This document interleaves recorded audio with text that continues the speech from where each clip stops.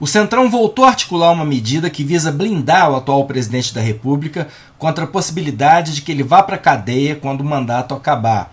Na abertura eu vou falar só da boa notícia, eles já estão se preparando para a derrota, mas a má notícia por trás disso tem muito mais relevância. Salve galera, eu sou Maurício Ricardo. Sua inscrição é importante nessa plataforma, que como as outras vem priorizando vídeos curtos. Seu like também é importante para robozinho que escolhe quem vai ou não vai ver esse vídeo. E seu comentário é sempre enriquecedor e me dá muito orgulho da comunidade que se formou aqui nesse canal. Muito obrigado. Hoje o meu fundo tá brega, porque em vez do disco eu coloquei a camiseta que eu usei ontem, porque vocês sempre me perguntam nos comentários o que quer dizer aquela camiseta? Qual é daquela estampa?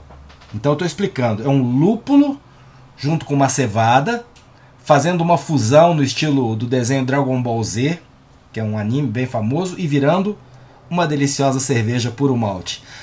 Sem querer ser snob, ela veio da Holanda, de uma loja física de lá, então eu não sei te indicar onde vende, nem se no Brasil tem, e nem sei exatamente onde em Amsterdã nós compramos essa camiseta, eu ganhei da minha esposa. Mas sim, é uma camiseta bonita e muito divertida, especialmente para quem é geek. Então, a apuração do tema de hoje é da Andréa Sadi, competentíssima jornalista do G1 e da Globo News em Brasília. Ela conta no blog dela hoje que o Centrão articula uma espécie de blindagem para o Bolsonaro. É uma conversa que já tinha sido levantada ano passado.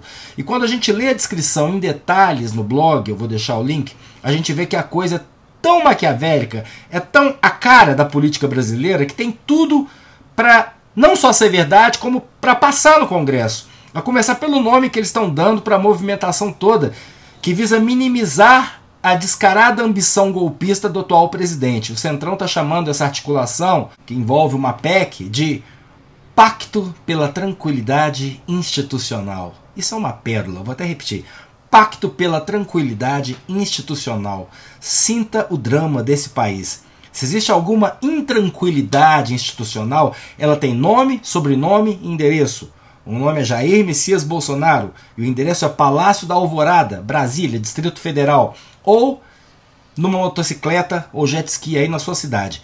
É ele quem ameaça golpe todo santo dia. É ele quem conseguiu irritar até banqueiros e empresários que estão assinando manifesto em favor da democracia. É ele quem está fazendo Congresso dos Estados Unidos da América se pronunciar, ONU se pronunciar, o planeta Terra. Então, pacto pela tranquilidade institucional, na verdade, quer dizer acordão para garantir que ele vai passar a faixa.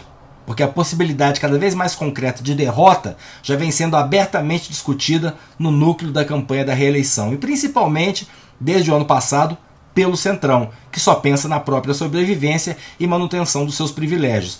Aí, para enfiar essa lei, na verdade, uma PEC, outra mudança na Constituição, goela abaixo, eles fingem que não é pessoal, não é uma lei de impunidade para o Bolsonaro. A ideia é criar uma espécie de cargo vitalício para todos os ex-presidentes da República, garantindo as prerrogativas de um senador em exercício, repito, para o resto da vida, de forma vitalícia, para qualquer presidente ou ex-presidente, ele passa a manter foro privilegiado e imunidade parlamentar até o fim dos seus dias. Não vai jamais enfrentar a justiça comum. Bom, a verdade é que político nesse país costuma ter blindagem judicial vitalícia como default. A razão pela qual, inclusive, o Brasil botou fé na Lava Jato na época foi ver um ex-presidente da República e um ex-presidente da Câmara Federal, Lula e Eduardo Cunha, pegando cana. Claro que depois veio a Vaza Jato, ficaram claros os bastidores corrompidos da operação, veio o auto-exposed do juiz Sérgio Moro, que foi ser ministro num governo que se beneficiou diretamente da prisão que ele fez do Lula. Se Lula tivesse virado ministro da Dilma, não teria sido condenado, não se tornaria inelegível e poderia estar governando o Brasil agora, impune ou não. Goste você ou não dessa ideia, mas enfim, fazer uma lei que dá foro privilegiado vitalício a ex-presidente da República só beneficia um ex-presidente da República, o atual quando ele virar ex. O Lula está com 76 anos de idade. As condenações dele foram anuladas. E ele puxou 500 dias de cana, é sempre bom lembrar, não fugiu para o Uruguai. Temer está com 81 anos, já dormiu quatro noites na cadeia, mas está com todas as, as ações dele travadas, blindado, já escapou também. Então essa PEC que eu não duvido que ande, que eu não duvido que passe, seria a PEC Voldemort. Pelo que André apurou, com todos os requintes de acordão com o STF e tudo. Lembra do Jucal, o telefone, na época do impeachment da Dilma? Então, eu vou ler um trechinho. Já estou avisando que é surreal. E peço que não atirem na mensageira. A Andréa não inventou isso, ela apurou. Vou ler um trechinho e vocês vão entender. Olha só. Caciques do Centrão afirmam estar preocupados com as ameaças do presidente a respeito do 7 de setembro e temem novo acirramento de ânimos com ministros do STF às vésperas da eleição. Por isso, como parte do que chamam de Pacto pela Tranquilidade Institucional, lideranças do Centrão têm conversado com integrantes dos tribunais superiores para costurar a medida. Em troca, afirmam, bolsonaristas se comprometeriam também com uma trégua nos ataques ao TSE e ao STF. Você não entendeu errado. O Centrão, que apoia o presidente, está preocupado com o que o presidente, apoiado pelo Centrão, possa dizer ou fazer no 7 de setembro. Então, como medida preventiva, contra a incitação à violência, caos social, golpe de Estado, eles pedem uma garantia para o presidente, a garantia de que ele não seja julgado e preso como um cidadão comum no dia em que esse país tiver a sorte de se livrar dele. Isso vai além de um acordo. Se realmente as negociações estiverem acontecendo nesse tom, isso é chantagem. É o Congresso que o presidente já tem chantageando não só o STF, mas o país.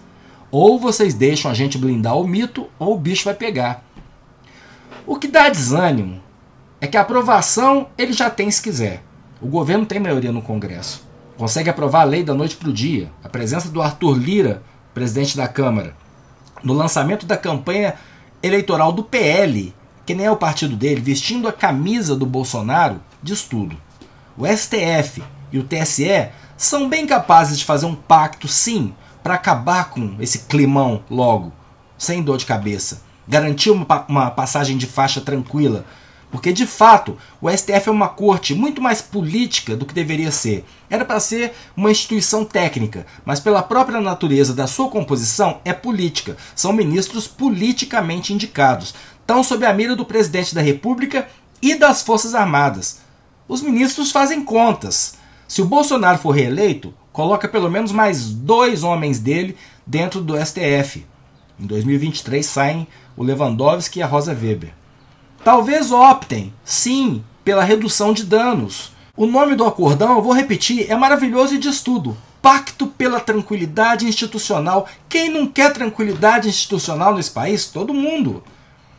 E quanto à impunidade, vamos nos lembrar: a gente tem um histórico, um longo histórico de impunidade. E o STF, mais do que ninguém, sabe disso. Então toma aí o seu Plasil e se prepare para mais essa. Pode não dar em nada? Pode. Mas quem se prepara para o pior aqui no Brasil quase nunca se decepciona. Eu sou Maurício Ricardo, inscreva-se nesse canal, ative as notificações, deixe o seu like ou o seu dislike, seu comentário que é sempre muito importante. Lute pela democracia.